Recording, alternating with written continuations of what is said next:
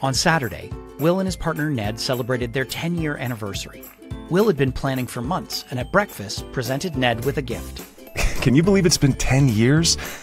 Go on, open it. Inside, Ned found two tickets to the Broadway show he'd wanted to see for years Hamilton.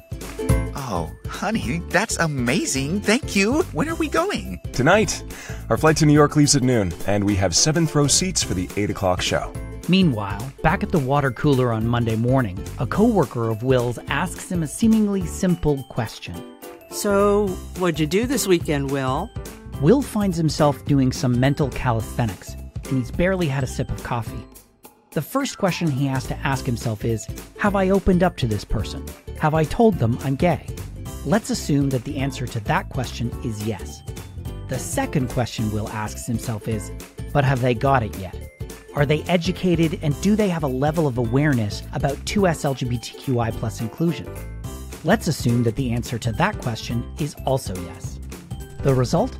Will gets to share his excellent adventure and starts work feeling energized and part of the team. Lapse time? Five minutes. But let's go back to the first question Have I opened up to this person yet? And assume that the answer is no. In this scenario, Will finds himself going through the panic of trying to hide his identity, sometimes referred to as code switching. Oh, not much. I saw a play with a friend. Do I know her? Is this someone you're dating?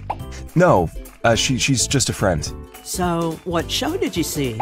Just a local production. But how, how was your weekend? In this situation, we find Will being evasive and lying. He's doing everything he can to ensure his coworkers don't find out he's gay. But let's change the scenario a bit. Let's assume for the question, Have I opened up to this person? that the answer is yes. But for the question, Have they got it yet? the answer is no. We find Will playing a very different role. In this scenario, Will takes on the role of educator. He finds himself dealing with people misgendering his partner, thinking of Ned as his business partner or roommate, and generally dealing with his coworkers' ignorance and lack of awareness. That can be a huge emotional and mental burden for Will, and it's not his actual job.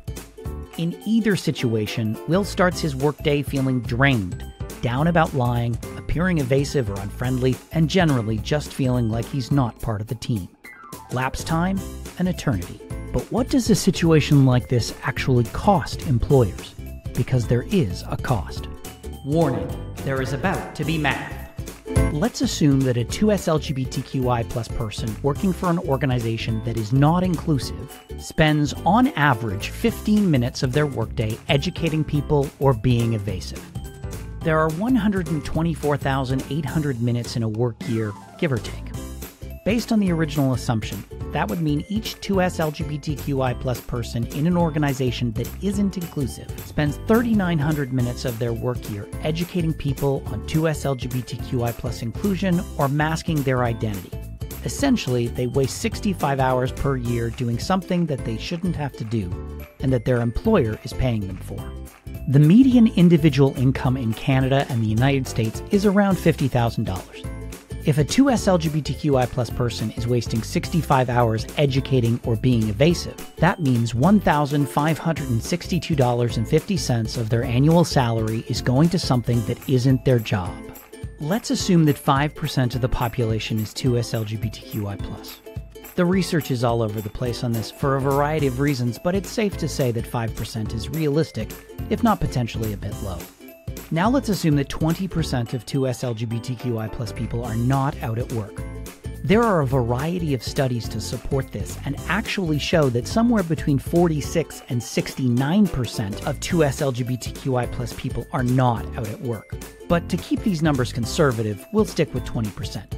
That means that 1% of the total workforce population is wasting $1,562.50 of their annual salary. The Canadian workforce includes just under 21 million people. The United States workforce is just under 166 million people.